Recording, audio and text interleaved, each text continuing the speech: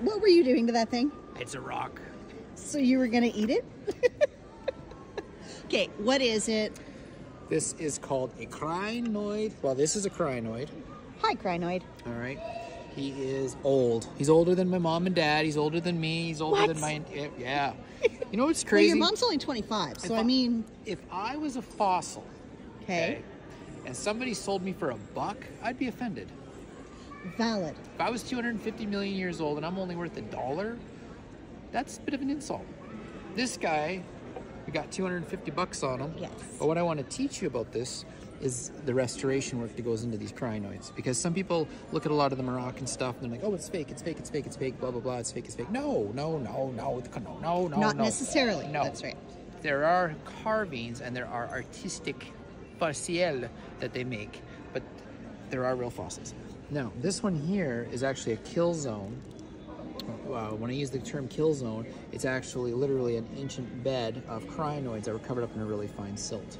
Now, this rock, Because that's a crinoid there, right? yeah, it's a crinoid. There's some. Now these are crinoid stems. This is a See, so this is just the more important or interesting fossil of Yeah. them. He wasn't as cool. He's pretty cool, but Yeah. they didn't mm-hmm. actually So excavate him. what they do is they physically split the layers. When the rock is it's, it's warped, it doesn't split straight. So I they're see that. they're a nightmare to split.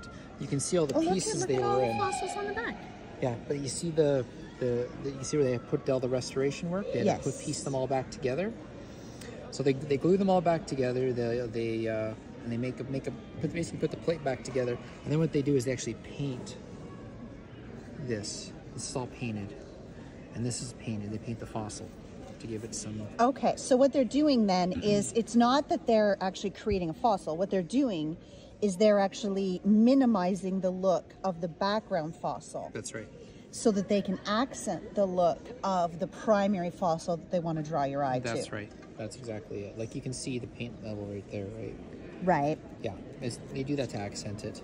But yeah, these are a, these are a, a, a bugger to, to make. But or like when they make them and they put them back together. But the larger plates of these guys, they actually have a fiberglass mesh and concrete on the back.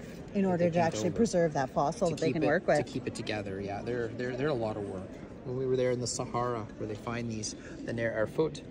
They, uh, they pull out these large blocks and they have to physically chisel the blocks apart in order to, to get these crinoids to, to pop out. So the detail's important. If you can't see that detail when you're looking at one of these, that's when you would question it, right? Exactly. Like the tiny little things here, the Yep. little uh, stems that's coming through, those are legit.